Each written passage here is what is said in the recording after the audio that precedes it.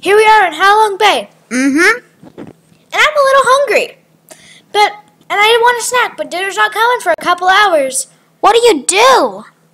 Well, we did see 7-Elevens over there and Family Marts everywhere. Hmm. Wonder Hmm. where 7-Eleven is. Right over there. Right there, Hope. There's a 7-Eleven. What are you talking about?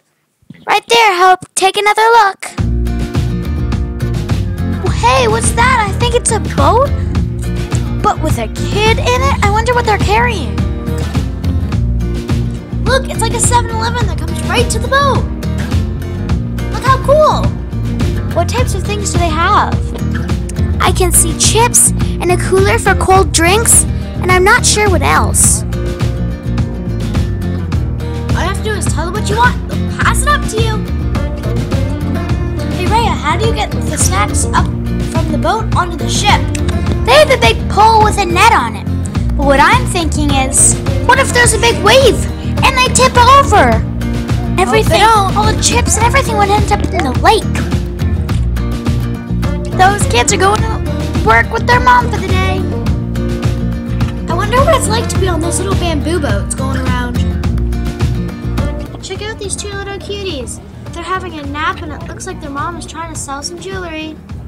If you look closely, at the side of her small boat, you can see a pole with a net that can reach customers from higher up. The Beautiful scenery in Halong Bay.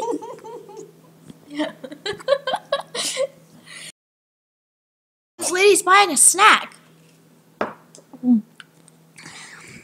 That lady's buying a snack. I just said that. Go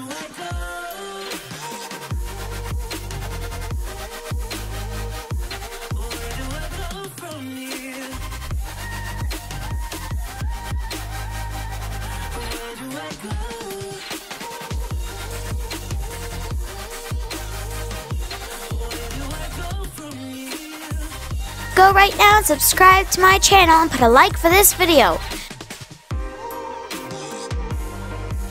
Pick one of these awesome videos to watch next.